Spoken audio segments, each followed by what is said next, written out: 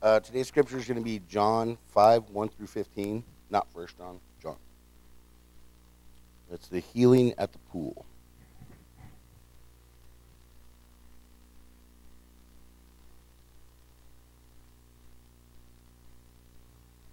All right. Sometime later, Jesus went up to Jerusalem for a feast for, of the Jews. Now there in Jerusalem, near the sheep gate, a pool, which in Aramaic is called Beth, Bethesda, and which is surrounded by five covered colonnades. Here a great number of disabled people used to lie the blind, the lame, and the paralyzed. One who was there had been an invalid for 38 years. When Jesus saw him lying there and learned that he had been in this condition for a long time, he asked him, Do you want to get well? Sir, the invalid said, I have no one to help me into the pool when the water is stirred. I am trying to get in. Someone else goes down ahead of me. Then Jesus said to him, Get up, pick up your mat, and walk. At once the man was cured. He picked up his mat and walked.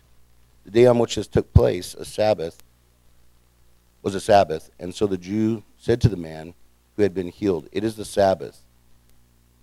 The law forbids you to carry your mat. But he replied, The man who made me well said to me, Pick up your mat and walk. So they asked him, Who is this fellow who told you to pick up your mat and walk? The man who was healed had no idea who it was, for Jesus had slipped away into the crowd that was there. Later, Jesus found him at the temple and said to him, See, you are well again. Stop sinning, or something worse may happen to you. The man went away and told the Jews that it was Jesus who had made him well.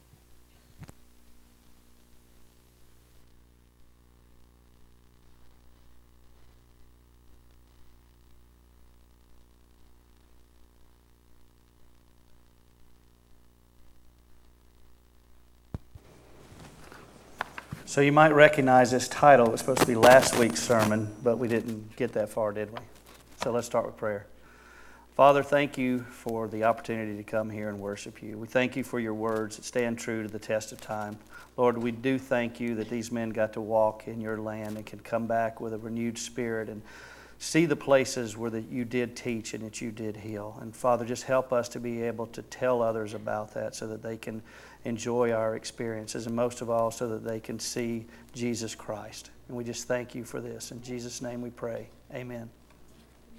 So when we were over in Israel, and I forgot to do this last week, we got some little wall magnets for you guys to put on your refrigerator or wherever you want to put them. They're different ones. This one says, Blessings for the home. May this home be blessed with love and peace. May this home be blessed with health, joy, and prosperity. This one says, Shalom.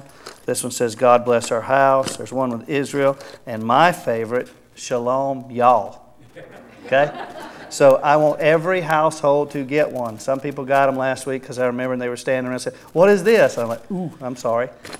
And these are supposed to be made of olive wood from Israel. I looked all over for made in China stickers. I did not find any, but I can't guarantee you anything.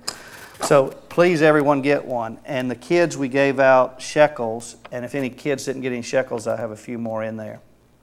One of the things, if you give me that picture, that we know where we walked, we know one of them for a fact was the place it was. So many of them were speculation that this was a place that this happened or this was a place because there's been so much turmoil and destruction and everything over the years. But this is the pool at Bethesda. It is described, and they found the colonnades. It marks where it should be at, and everything else. So, pretty much we feel like this is actually that part. And if you'll notice, it's down because everything in Jerusalem is built up on top. because it's destroyed, they build again, it's destroyed, it's built again. So they had to dig down to those pools. So that's what we're going to be talking about today. This is a place where Jesus literally walked and healed. John 5, starting in verse 1. Sometime later, Jesus went up to Jerusalem for one of the Jewish festivals. Now there is in Jerusalem, near the sheep gate, a pool, which in Aramaic is called Bethesda. Now, Bethesda means house of mercy or flowing water. So let's remember that as we go on. And which is surrounded by five covered colonnades. Here, a great number of, peop- of disabled people used to lie the blind, blind, the lame, and the paralyzed. Notice here that says a great number. Whenever Jesus came around, there was a great number. The problem is, is Jesus is calling out to people and say, Will you follow me? I don't want fans. That's what we're studying about in our Sunday school. I want committed followers. He never said, Come on and enjoy me. He said, Come, follow me. That meant to walk in his footsteps, not literally, but spiritually with what he taught, to live a life that he told us to, to live by his words and by his actions. Where else would it be a proper place for people to gather except a place where they knew they need healing? So many times we don't think we need healing, especially in this country, because we think that we are so blessed, and we are. But our blessings here are material, they're things that don't last. And sometimes we forget that and we make them our gods. We get satisfied with those things rather than living a life that pursues Jesus Christ, that pursues His teachings, a life of worthiness, following after the footsteps of Jesus. So I challenge you today to not be complacent, to go to that place where you can get healing. Many people, a great number, came to this place for healing, and Jesus showed up and they had an encounter with Jesus. Isaiah 35, verses 5 and the first part of 6 say, Then will the eyes of the blind be opened and the ears of the deaf unstopped. Then will the lame leap like a deer, not only walk again, but leap like a deer. And the mute tongue shall shout for joy. Not only speak, but shout for joy. Why? Because they have received healing, not just physical healing, because every time Jesus has an encounter with someone, just like the woman at the well, he points out, Here is why I'm here. I'm not here just to heal you of whatever infirmities you have on this earth, but I am here to give you springs of living water. This place was known as flowing water, but Jesus came there to give them living water, to give them life abundantly, so that they could have faith, they could have hope, and that they could love one another. That's what Jesus offered, and that's what Isaiah foretold about. Jesus did these miracles to fulfill prophecy, of course, but he did these miracles because he had compassion. For God so loved the world that he gave his only begotten Son. Jesus came because he knew the Father's will. The Father's will was that no one would perish, no one, no matter what they ever did, no matter what they ever would do. He loved them just the same. We don't have to get right and come to Jesus. Jesus comes to us and he says, I don't care if you're laying in the slop and the mud, just like the lost son. I want you to return home. I am the way, the truth, and the life. And I am here because the Father loved you and because I love you. Verse, the, verse 4, the last part of verse 3 and verse 4, you might have noticed when Kim put it there, it says, see footnote. Because it's in the King James Version, but it's not in the later uh, versions of the Bible. The reason being, when the King James Version was written, it was found in manuscripts. Later, when we found earlier manuscripts, we did not find the verses, so we have omitted them from the NIV and from other versions. But I want to read you what these this verses said. It says, And they waited for the moving of the waters. For time, time to time, an angel of the Lord would come down and stir up the waters. The first one into the pool after each such disturbance would be cured of whatever disease they had. Now, maybe it was superstition. Maybe an angel did come. Angels are known in the Bible for taking care of us, that's part of their job, for, for providing healing. Another thing they're known for is announcing the coming of the Messiah, isn't it? And Jesus was going to come to this pool. Maybe that's what it was. I don't know. All I know is Jesus came to heal the lame the mute, the blind. But you've got to decide if you want to be healed, don't you? And that's what this story goes on to say. Verse 5 says, One who was there had been an invalid for 38 years.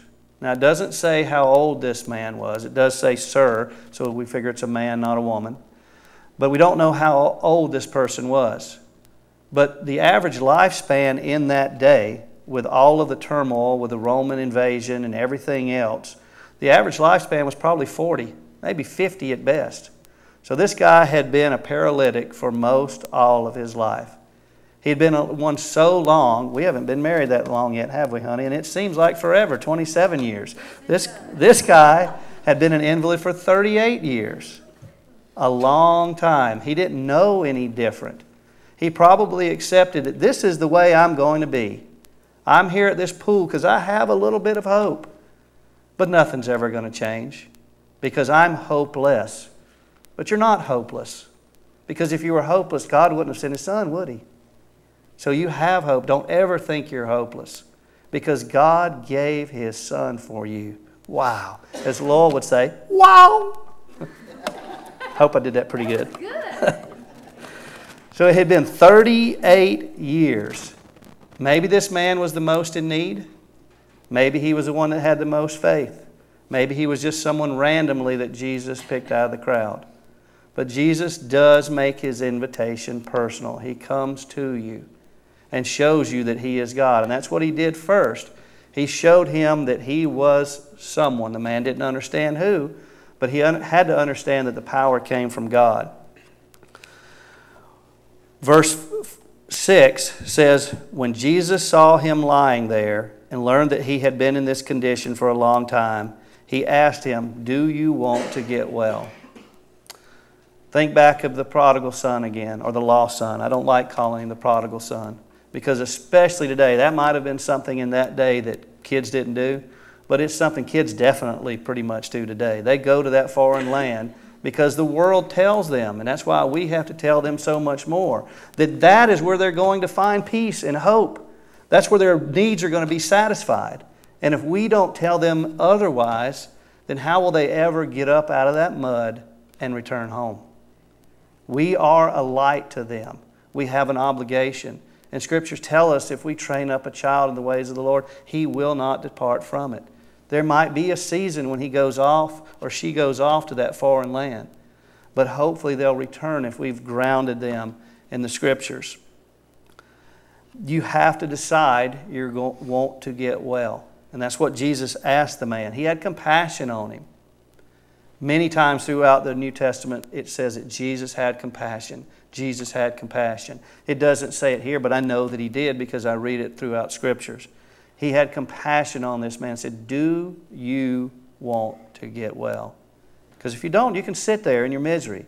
You can lie in that filthy slop. You can stay in the foreign land. But if you want to get well, Jesus can provide you with that, can he?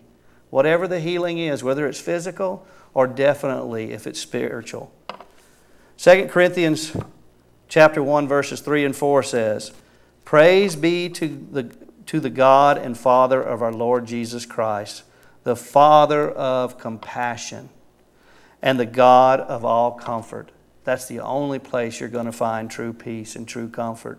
Who comforts comforts us in all our troubles, so that we can comfort those in any trouble with the comfort we ourselves receive from God. We're supposed to pass that on, aren't we? So when we're a light, when we're the hands and feet, we're also supposed to show compassion and love, aren't we? I said it earlier when Jesus said, A new commandment I give you. It wasn't a new commandment. The Ten Commandments, the first ones are about God, the second ones are about people. If you obey those commands, you will love God, you will love others. But Jesus came, that's why it's a new commandment because we have seen God's love given to us in the form of His Son, Jesus Christ. And now comes a time of total healing, a time of total restoration. And once we have been called and we answer this call to get up and be healed, then we're called to help heal others and help comfort others. And we have an opportunity to do that today. We're going into the junior high school to have a meal for Thanksgiving to be thankful to Jehovah God, not some foreign God in some foreign land. And we have the chance to witness.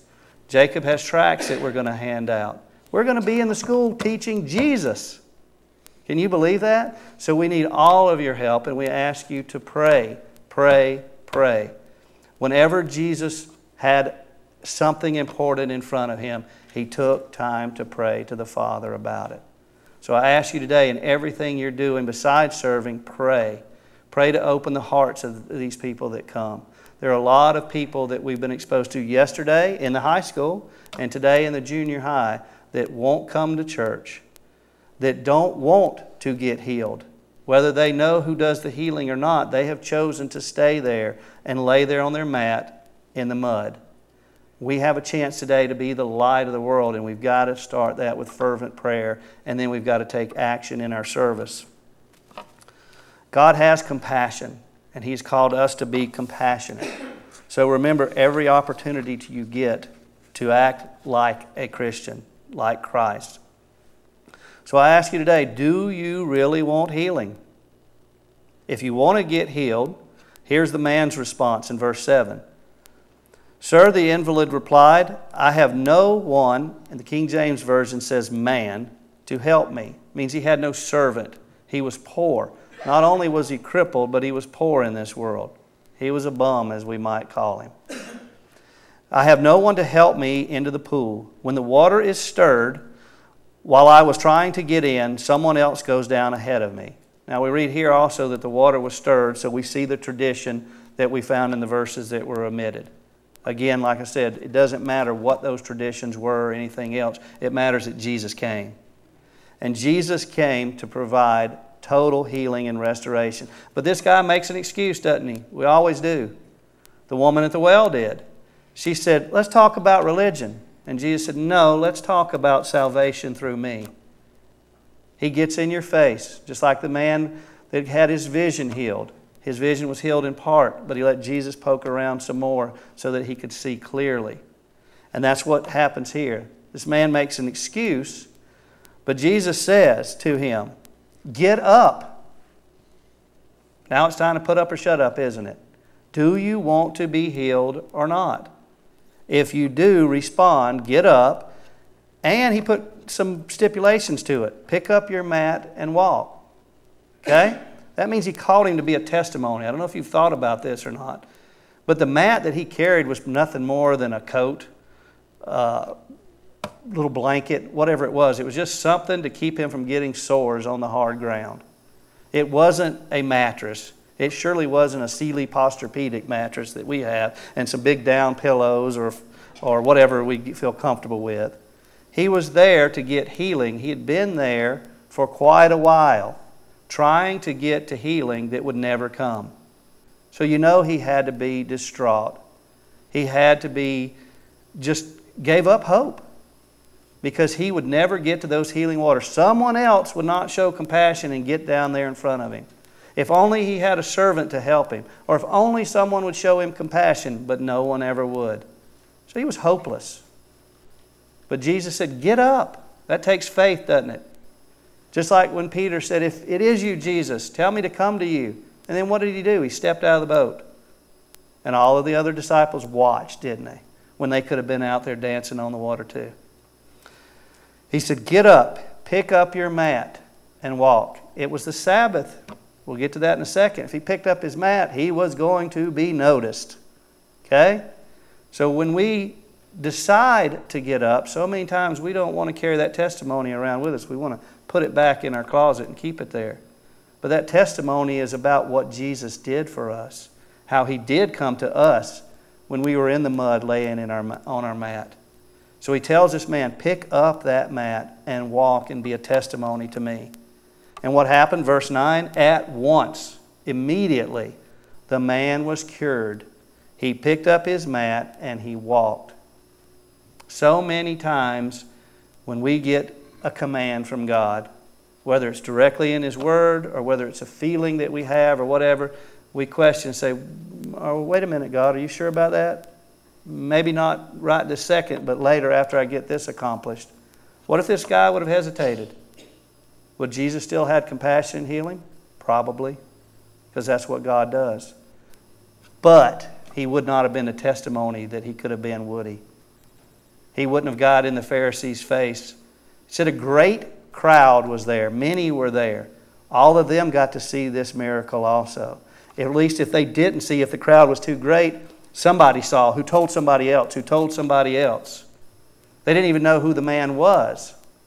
But they knew that this man, who had been lame and paralyzed for 38 years, now walked.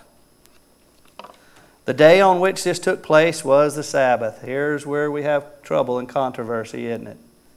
Jesus doesn't call our walk to be easy, He calls our walk to be a light, a testimony, a helping hand, a compassionate offer to someone else, acts of service, kindness, so that people see Jesus in our lives. Verse 10 says, And so the Jewish leaders said to the man who had been healed, they had no compassion. They knew the law, but they had no compassion or love. And that's why they missed who the Messiah was. It is the Sabbath. The law forbids you to carry your mat. You are in trouble, buddy. You broke the law and you're going to pay for it. But, and you know, I hate that word and love that word because it means the complete opposite. But, I love it in this case. The man replied, The man who made me well, he said to me, Pick up your mat and walk. And that's what I did. I didn't question him. He said, Do this, and I did it. I don't even know who he is. It goes on to say that. He, he walked by faith because the one that told him to get up. Not because Jesus told him to get up, but the one who healed him told him to get up. And he had enough faith, not even knowing that Jesus was the promised Messiah. He had enough faith to get up and be a testimony.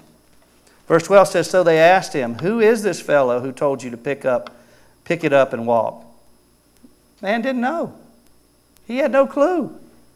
He just knew that once he was lame and now he was walk, well, he could walk. He knew that he once was blind, but now he could see.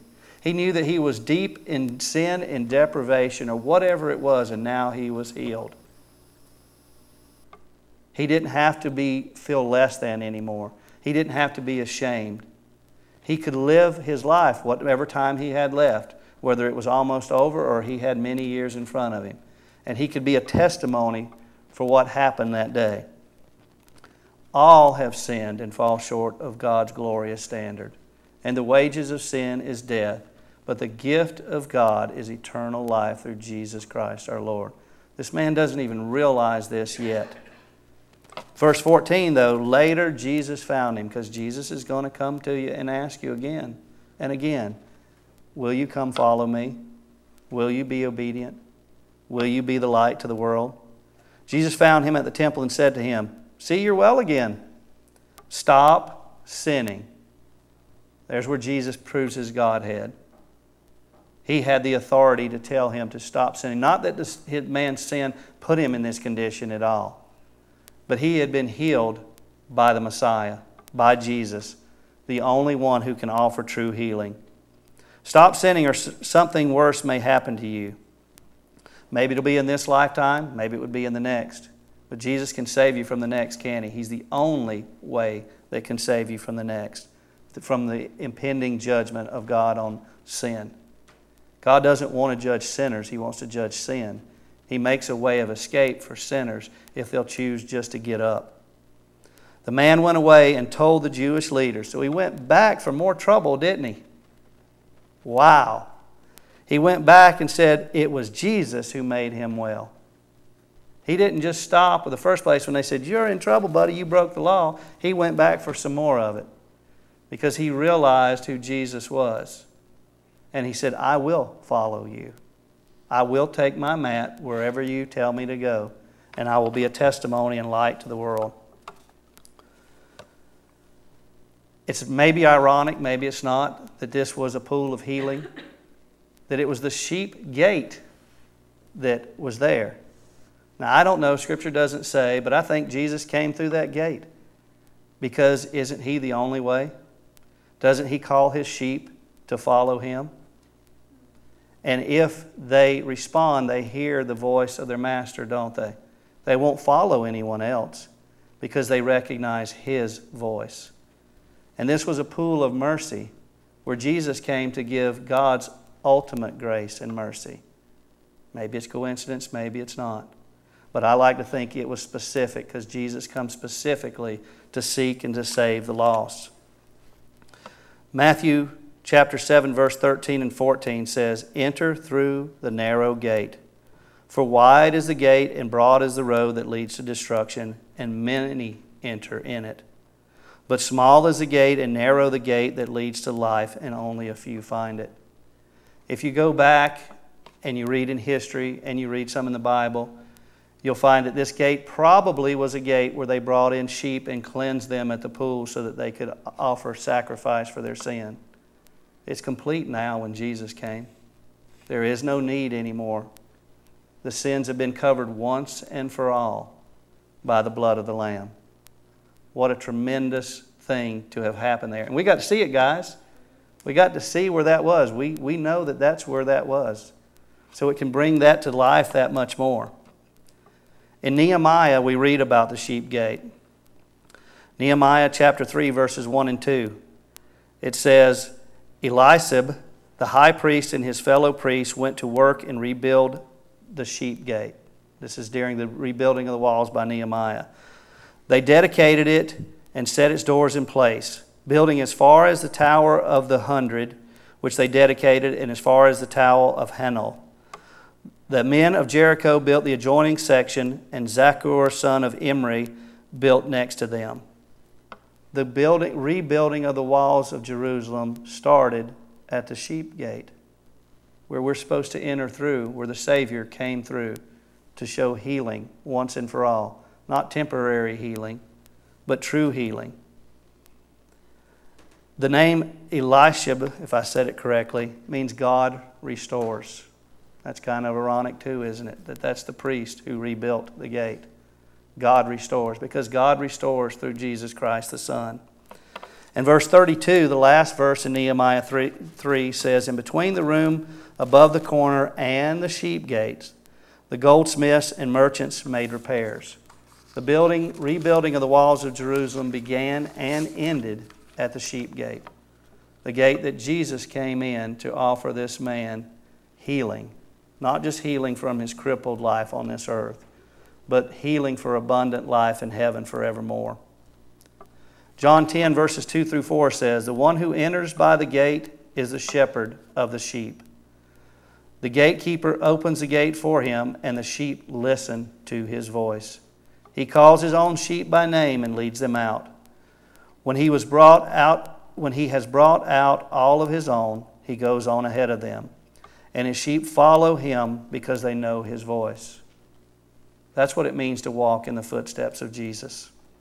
To hear his voice, to follow his commands, follow his call, follow his lead so that others may know the love of the Father and be restored to Him.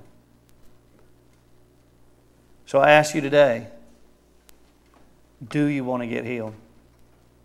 If you want to get healed, are you responding? And if you're responding, how can you be an example and a light to this earth? You have an opportunity today to serve. And I will say one thing, and Jacob has seen it too, because he pointed out to me, I said, I already know it, son. This is a loving, giving church, and I am proud to serve here. There are more people helping from this church than any other church. I didn't say that so you can repeat it or so you can get proud about it or anything. Just the fact that we have a loving church, and it makes me proud that you guys understand God's calling and you do your best to do it. But we can always do more because the harvest is plenty and the workers are few. Don't forget that. Spend time today praying for whatever action you can have and that souls will be prepared to hear the gospel message. Because it's just amazing to me that we've been given this opportunity in the last couple of days to reach out, to break denominational barriers, to tell of the love of Jesus Christ, so that people can get healing, so that they can know why God did love them so much because so many times they do get complacent sitting there on their mat. They think there is no hope because no one else in this world will help them. They don't have anybody. So the only help they have is Jesus. And how are they going to know Jesus unless we come to them with Jesus? He's not here now, and He commissioned us to be His hands and feet. Let's pray. Father, I thank you for the love that you gave to us. I thank you for the example of Christ. I thank you that all throughout Scripture, wherever you pick up and read, you see of your love, Father, and the coming promise of Jesus Christ, and the hope that we have that no matter what, if we have been born again and sealed by the Spirit, that we will spend eternity with you. That when our friends and loved ones pass on that do know you, Father, that it's not goodbye, it's just a delayed hello. And we thank you for the people that do get up and follow you. Help us to be a church full of individuals that follows you with all of our heart, Father, that we may bring glory and honor to you, and that we may lead other sheep to the gate of true life through Jesus Christ our Lord. And we pray this in Jesus' precious name. Amen.